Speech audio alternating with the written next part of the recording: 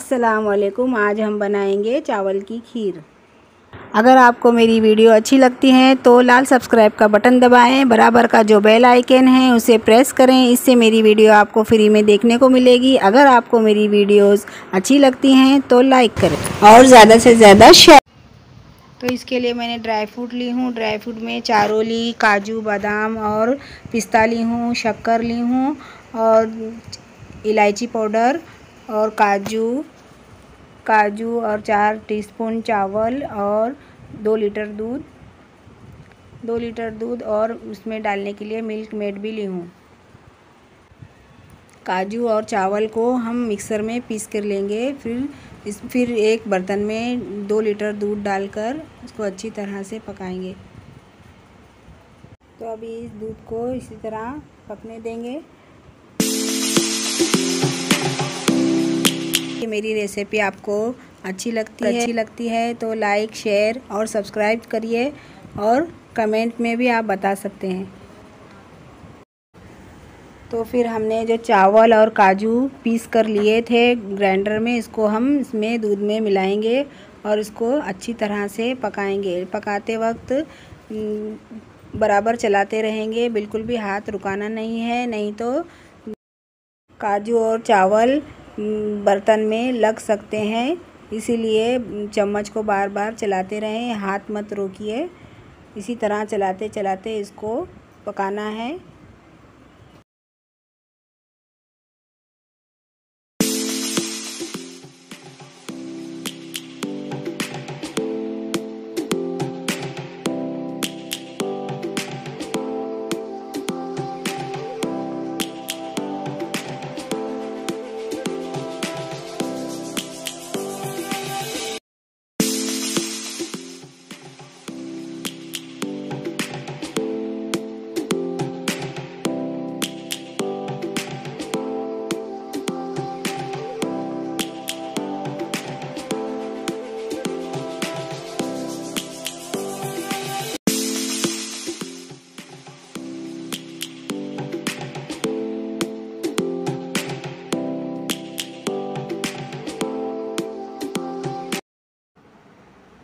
तो ये दूध पक रहा है, तब तक हम पैन में घी डालकर बारी बारी हम हमारे ड्राई फ्रूट रोस्ट करके लेंगे।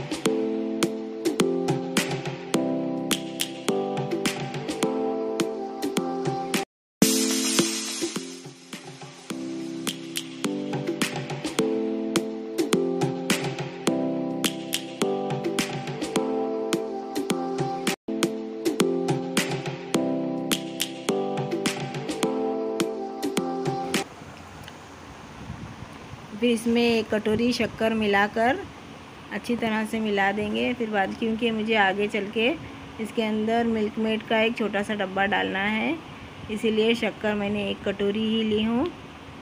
दोनों मिलाकर मीठा बराबर हो जाएगा। फिर अभी इसमें मैं दो चम्मच कस्टर्ड पाउडर दूध में घोल कर इसमें मिला रही हूँ। इसमें हम मिलाकर आहिस्ता आहिस्ता से इसको चलाएँगे, मुसलसल चलाते रहेंगे ताकि इसमें लम्स ना हो। अभी अच्छी तरह से ये खीर पक रही है। अभी इसके अंदर हम हमारे ड्राई फ्रूट डालेंगे।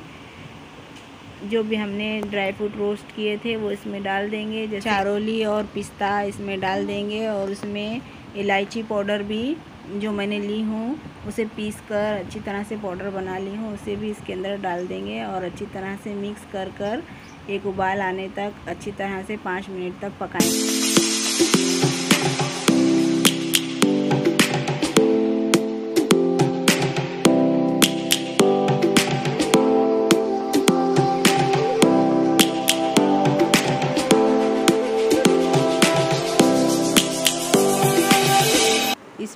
एक टीन मिल्क मेड छोटा वाला थोड़ा थोड़ा करके डालकर अच्छी तरह से इसको मिक्स कर लेंगे और इसको एक उबाल आने तक पकाएँगे।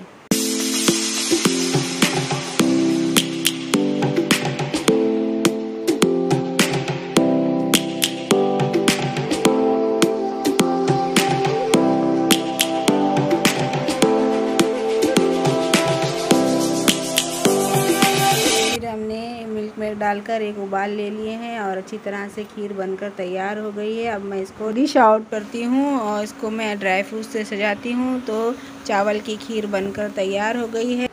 जोयास किचन को लाइक करो, शेयर करो और सब्सक्राइब करो और खीर कैसी बनी है मुझे कमेंट में ज़रूर बताओ।